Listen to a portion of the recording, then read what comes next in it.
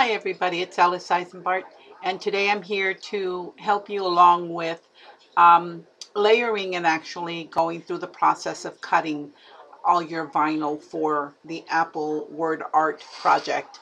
I apologize that I did not include those instructions or suggestions in the previous videos, but I am always pressed for time. I'm only given 15 minutes to record and I was really, really close to um, not being able to get everything in, so I cut that part out. Today I'll go ahead and explain the process that I use in order to go ahead and get this cut and on a surface. Uh, for this um, demonstration, I'm going to, uh, we're going to go ahead and go on the premise that this is being mounted on the outside of a glass um, or on the outside of a surface. Um, if you were going to put this on the inside of a glass frame or something, um, you would want to reverse or flip horizontally all your uh, your your whole image um, so that it would then um, go on the inside. So um, the first thing that I want to mention is the fact that this will go a lot smoother if you go ahead and create some registration marks for yourself.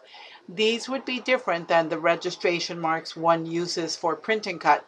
So um, these you create by using the, I, I used the rectangle tool, excuse me. um, so I'll move these aside for now just to show you what I did. Um, I went over to the rectangle tool. I drew myself a little rectangle. I went ahead, right clicked, copied, and then I did a paste. And then I drag it over to this side. And I position it sort of like it would, where it would cover the whole area. Um, I don't bring them in too closely because to me that just seems like it would be much more difficult to line up. I like that by spreading it out a little bit that it covers a larger area and the chances of you being able to layer your vinyl down are better, I think, if they're separated just a bit. I also leave a little bit of a gap in here, and that is because later, um, later on, when we talk about the actual layering process, you'll see that it um, makes it much easier if you've got a gap um, because I do use a carrier sheet to protect my vinyl layers. Uh, I'll go into detail later. So the first thing you want to do once you get your registration marks, and I'm going to toss these out because I've got the ones up at the top here that I'll use. Um, I make sure that the first thing is that I always keep the cut lines on on the registration marks. So I go up to the scissor icon to the cut style window and make sure that it does say cut. The other thing you want to do is to be sure that everything else is a no cut. And if you're not positive, go back out here, select your entire image, but not the registration marks. Then go back to your scissor icon and say no cut. And they're very light, so you know that there are no cut lines. If there were, you would see it like that. It just got really dark because I hit cut. But right now we want no cut on everything except your registration marks. At this point, you will never touch these again. You will not move them either.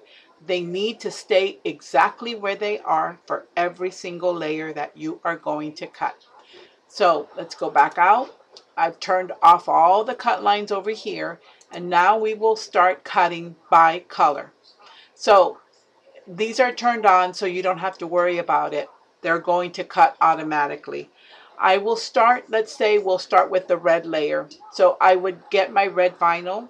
I would cut my sheet based on how big this image is um, and how much distance is from here all the way down to the last red.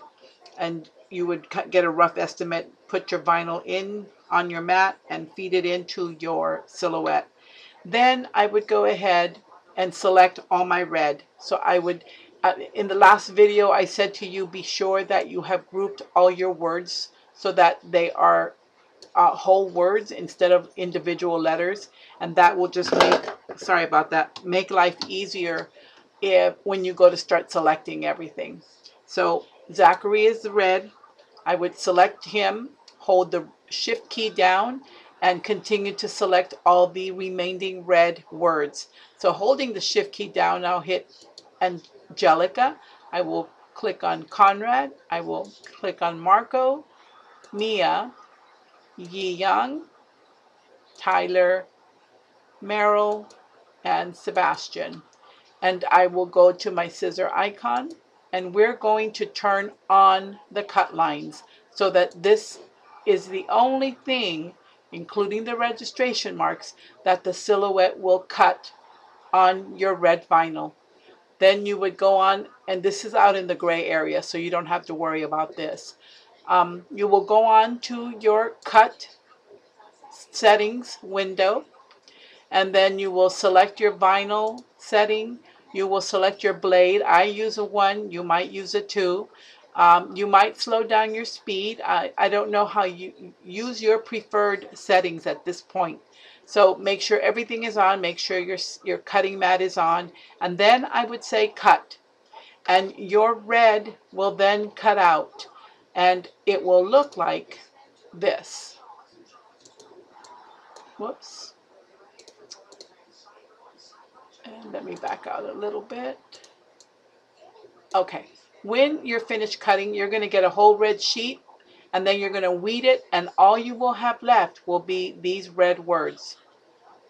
And that's it, including the registration marks. And you want to go ahead and weed around them and leave them there. You'll need them. Then you go back and you work on your next color. The cut lines are always on on the registration mark, so that's not a problem. And then we will continue. I will move on with the orange. But first, I want to go back, select my entire image, and I will turn off all my cut lines again. So I will say no cut and notice that everything went very, very um, kind of milky, um, not, not very clear. And that's because there are no cut lines except for the registration marks. So let's go and pick our next color. I will start with the orange. So I will select Noah, hold the shift key down, move on to Bella, Nate, Archer, Layla, and Grace. And I think that's it. I will go up to the scissor icon, turn on the cut lines, and you see they got dark. Now go ahead, again, get your orange or whatever color vinyl, put your vinyl in there and load it up and make sure your settings are correct and say cut. When you're done, you will have something like this one where the after you weed it, where the orange registration marks are there and your orange words only. Then you'll go back, make sure everything except those registration marks, leave those alone, but make sure everything else we turn off for cut lines. So nothing is cutting right now. Now let's move on to the next color. And the next color is this tan. So I would start with Kira, hold the shift key down, pick Marisol, Kevin, Melania, and Maudo. And I would say, go to the scissor icon and say cut. And now we're ready to feed in our tan vinyl. When we cut it, um, this is what we would get. A tan sheet, you would weed it and you'd have tan registration marks and all the tan words. And you're going to go on and on and do the same thing with the gold. You're going to do the same thing with the brown and you're going to do the same thing with the green or however it is that you have your apple set up. Um, and so by the time you're done, you're going to have several sheets. You're going to have a one, I have one, two, three, four, five, six colors that I have cut. You may only have three. Um, you may only have two. Uh, it, it's going to depend on what you choose to do with your word art. But when you're ready to actually put this down on a surface, um, what I like to do is I will go ahead and let's say I'll start with the red as my, my bottom layer. So I will take it and I will go ahead and that will be the one that you will center over your area and get down first. After that, every color that you go to put uh, to layer, you are going to use these registration marks to line up over that first color. So if I put the red down first and then I'm going to work on orange, well then I would take this and before I do, you know the carrier sheet that comes off of these, the, the extra, that extra paper that you peel away, I save it and I use it for this purpose and that's why I had you leave a gap up here, a little gap so that you can stick this paper and um, it's the carrier sheet that comes off the vinyl and I would put it over the words so that when you go to stick this down and line up everything, you only have to worry about those registration marks and lining them up so that the vinyl, the stickiness of this vinyl is being protected by that carrier sheet because it's kind of waxy. Um, and that'll let you go ahead and fiddle, you know, just kind of tinker with this and line up the registration marks so that they are stacked exactly on top of each other. Because you've stacked them and you've only had to focus on this these two areas and not this, now you can pull up this sheet, lift away the carrier sheet and put your orange back down and everything will line up where it has to go. And then you'll move on to your next color you will put that carrier sheet back over to protect those words. What you're doing is you're just not letting this stick to your surface yet until you line up everything.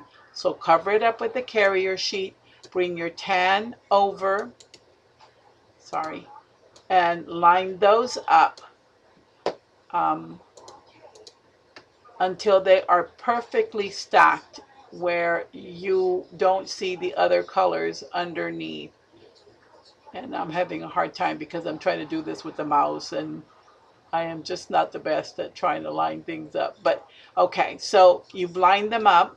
You would lift up the sheet a little bit with this color and pull away that carrier sheet. And now you notice that the tan is now where it's supposed to be. And you continue to do this with every single layer. Put your carrier sheet back on top, over, on top of here. This will go. You will line up the registration marks. Whoops, bring front. Line up the registration marks. Don't worry about the words, just worry about lining this up. And when you have it lined up, then pull away the sheet and drop down your, your gold and this is what you do. The next one would be the brown. You take it, put your carrier sheet on top, cover everything up, and then line this up on top here. Sorry. Line up your registration marks and then pull away your carrier sheet. Last one here, same thing. Put your carrier sheet over, protect everything, put this one on top, and you don't have to do all this bring to front. My, it, this is just for demonstration. Um, line it up, make sure everything is lined up and everything is stacked perfectly. You can tell mine are not, but you get the idea. And everything lines up. And there you have it. So I hope that this has helped. I hope that this gives you a better understanding of how it is that you go about layering all the different colors and why you would use registration marks and why it's helpful to use that carrier sheet. Um, it's just protecting and, and not allowing your vinyl to stick before you're ready to have it stick so that it allows you to focus just on lining up those registration marks. All right. Good luck. I hope this works for you. Like I said, there are so many different ways to go about this. This is what works best for me. Just don't forget to turn on and turn off those reg the, the lines, the cut lines for every color as you go along. All right. Good luck. Bye.